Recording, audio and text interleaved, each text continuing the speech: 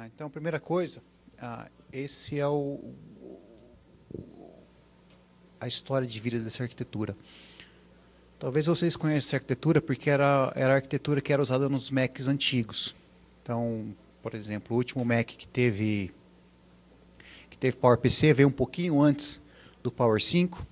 Então, se vocês lembram, tinha o Mac G5, ele era baseado num core parecido com o que era o Power 4. E eu vou falar um pouco que, que essa arquitetura tem de tão específico. Uh, especificamente, eu acredito que a gente, a IBM consegue colocar bastante features que depois aparecem nos concorrentes, como por exemplo, em 2004 a gente já tinha features de virtualização com o Power 5, Power 6 começaram a aparecer o que o que a IBM chamou de Protection Key, está aparecendo isso agora nos Cobb Lake da Intel, com um nome um pouquinho diferente de Protection Key, que são features de memória que você consegue acessar a página baseada numa chave criptográfica. Isso já apareceu no, no Power 6. Power 7 a gente colocou, chip, uh, colocou o, o cache L3 dentro do chip, que foi uma coisa que deu bastante, bastante performance aí. Uh, Power 8, duas grandes, ou três grandes novas features. A primeira delas é Transaction Memory. A Intel ainda tem um pouco de dificuldade de fazer isso acontecer, isso já tem desde o Power 8. A NVLink, que é um protocolo que eu vou falar um pouco mais e suporte de aceleradores, através de uma interface nova que foi criada chamada CAP, que é uma API de coerência. Então, eu vou falar mais ou menos em torno disso, ah, essa apresentação hoje. Então, a primeira, esse primeiro slide aqui mostra quais são as grandes features. Então, por exemplo, hoje um, processador Power tem 8 threads por core. Então, uma máquina que tem 10 cores, que é um chip básico, ela tem 80 threads. Então, no Linux você vê 80 CPU. E isso é alterado dinamicamente, você consegue ir de SMT1, ou seja, um thread por core, até SMT8, que são 8 threads por core. A grande vantagem aqui também é largura de memória, cache e o que a IBM tem apostado através de uma fundação que eu vou explicar para vocês é aceleradores. Ah, o entendimento da IBM é que não se consegue mais seguir a lei de Moore. Estamos chegando nos limites do silício e o jeito de melhorar a performance nos computadores é através de aceleradores. Aceleradores que a gente tem visto muito com GPU, ah, enfim, FPGAs. E é nisso que tem se apostado a arquitetura e é isso que eu vou falar um pouco mais, principalmente quando se trabalha num tipo de workload que é onde o Power se encaixa muito bem, que são ah, big data, grandes databases, etc. E tal. Então, as máquinas, elas podem ser divididas em dois tipos: máquinas feitas pela IBM e máquinas feitas e máquinas feitas por uma fundação. Eu vou explicar um pouco mais sobre essa fundação, mas primeiro eu vou, primeiro eu vou falar um pouco mais sobre as máquinas que são da IBM, tá? Então você começa com máquinas pequenas, ah, um U, dois Us, até máquinas que conseguem ter até ah, 200 core. E se você pensar que 200 core tem SMT8, a quantidade de CPU é explosiva. Essas máquinas extremamente rápidas, com muito confiança e, consequentemente, muito caro. Essas máquinas elas são divididas em dois tipos. Um virtualizador específico, chamado Power VM, e do outro lado, máquinas que você consegue rodar KVM. Essas máquinas aqui são máquinas que não, você não consegue rodar KVM. Então, se você quiser fazer virtualização, você precisa usar ah, esse virtualizador próprio, que no fundo ah, já está na máquina, chamam-se de virtualizador em hardware, mas no fundo é, é uma camada bem, bem pequena de virtualização que fica no firmware. Então, essas máquinas são as máquinas IBMs. E, mais interessantemente, a IBM descobriu que ela por si só não consegue fazer acontecer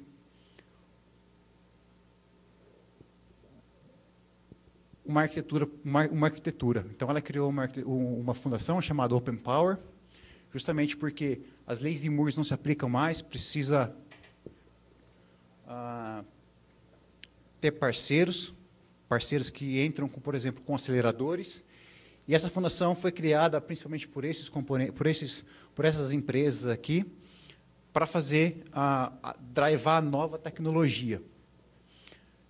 É uma tecnologia aberta. Não sei se vocês ficaram sabendo. Ah, tinha uma intenção de fazer uma máquina desktop com esse processador. Era uma máquina completamente livre, porque a BIOS aqui é livre. Ah, todo, inclusive, a parte que, que controla o fã do CPU é livre, é aberta, está no GitHub. Ah, vocês podem ver GitHub barra OpenPower. E aí tem um conjunto de ferramental lá, Skiboot, Skiroot, Host OCC, que são partes do firmware que controla essa máquina. E essa máquina, chamada Talos, era uma máquina que, através do crowdfunding, fazia o target de ser uma máquina aprovada pela FSF. Então, essa é a Open Power Foundation, e como princípio básico dela uh, é o Open Development. Inclusive, o processador em si, ele é aberto, não aberto da gente, do jeito que a gente gostaria, mas você consegue, por exemplo, fazer o processador se você tiver uma FAB. E isso tem acontecido. Os processadores hoje, eles não são, as máquinas não são feitas pela IBM e os processadores também não são feitos pela IBM. Ah, e qual a vantagem desse, ou por que, que foi feita essa fundação?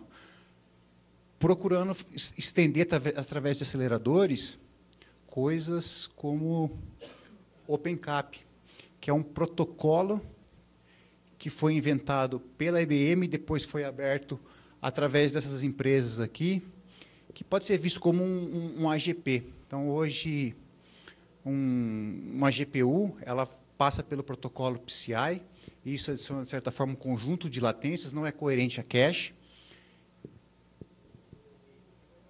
E a IBM, a IBM através do, com os parceiros, ah, criou esse protocolo novo, que é um barramento novo, na verdade, com um protocolo novo, que visa resolver esses problemas que se tinha. Mesma coisa a Nivelink. Nivelink é um, é um, é um barramento também, parecido com o que era o AGP, que visa resolver problemas de latência.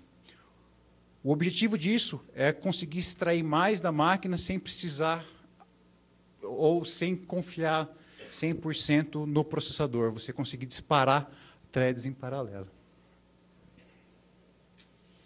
Essas são máquinas ah, que são vendidas por parceiros, não tem nada a ver com IBM aqui.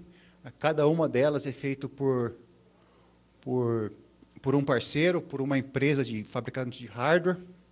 Elas existem das mais com os mais diferentes ah, propósitos. Essa máquina Minsk do meio é a máquina que está hoje no que vai ser o maior supercomputador do mundo, são dois, na verdade, ah, no Departamento de Defesa americano. É uma máquina que tem quatro GPU. Nesse momento, ela está com uma com uma com uma, uma Pascal, uma GPU, são quatro ah, GPU Pascal da Nvidia, rodando em cima desse barramento NVLink, que é um barramento mais potente do que o que a gente costuma ter nos PCs. E o follow-on dessa máquina vai ser o junto com essa máquina vai ser o que vai rodar o maior dos dois maiores supercomputadores do mundo.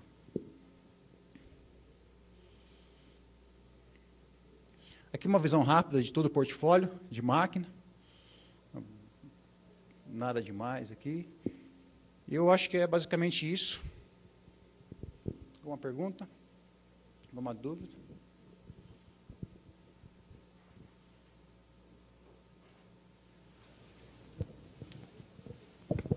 Olá, boa tarde. Eu sou o Kurt Kraut. Eu tive a experiência de trabalhar com essa arquitetura muito brevemente na OVH, que é um data center francês que ele ofereceu pro, experimentalmente por algum tempo máquinas para alugar por hora com essa arquitetura. E fiquei empolgado, e a máquina que eles ofereceram tinha 176 threads, e a dificuldade que eu tive é todas as ferramentas de benchmarks comuns que se usam em máquinas Linux para poder ver é, poder de processamento, de threading, de I.O., todas elas tiveram números muito ruins. E eu fiquei em dúvida se era a ferramenta que eu não era capaz de usar toda a extensão que a arquitetura tem, ou se era algum problema do ambiente que a OVH a VH proporcionava. Você tem alguma informação adicional sobre isso? Como a gente pode pegar ferramentas comuns e comparar um x86 com essa arquitetura, utilizando os mesmos critérios mensuráveis que um usuário comum possa fazer? Obrigado. Sim, de nada. Um bom ponto. Isso, a gente colocou algumas máquinas na OV8.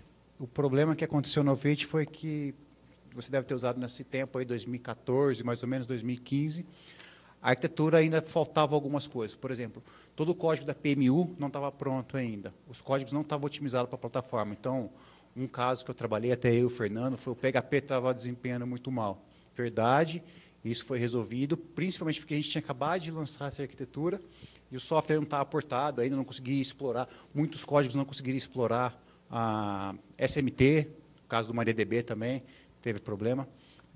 Concordo com o que você disse, foi um problema realmente, principalmente porque os códigos ainda não estavam portados. O OpenSSL estava fazendo fallback para a extensão em C, etc. E tal. Hoje não temos mais esse problema, inclusive até gostaria que você ficasse para a próxima apresentação. O Fernando vai falar um pouco como você consegue conectar, é, pegar uma máquina na Unicamp, uma VM no caso, e refazer seus testes. Terceiro?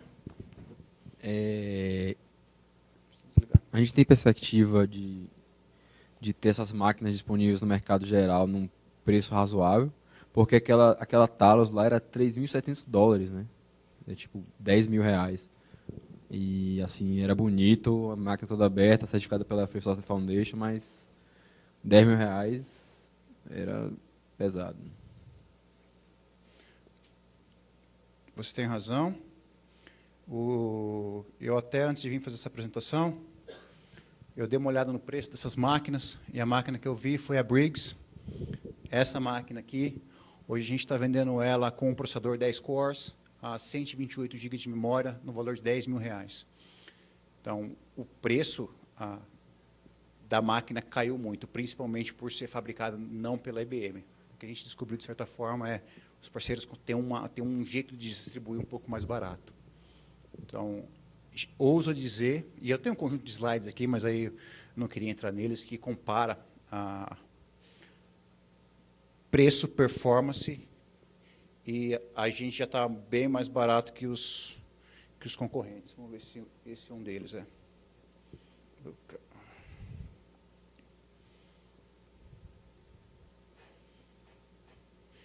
Eu não sou de marketing, mas ah, você comparando, por exemplo, as powers com, a, com HP para alguns workloads, ou para, o que, que é isso aqui, MariaDB.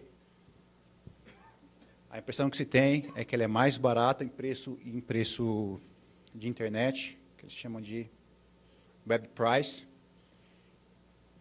e a performance é melhor.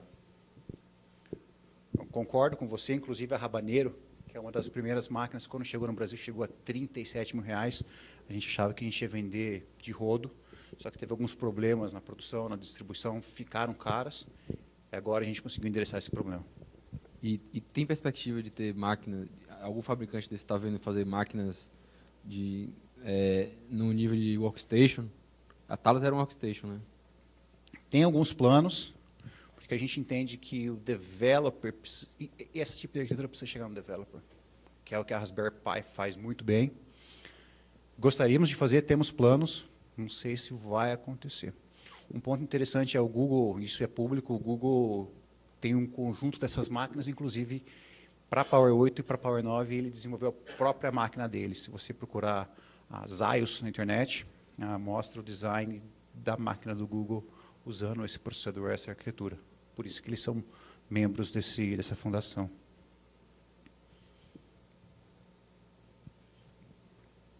Mais alguma pergunta?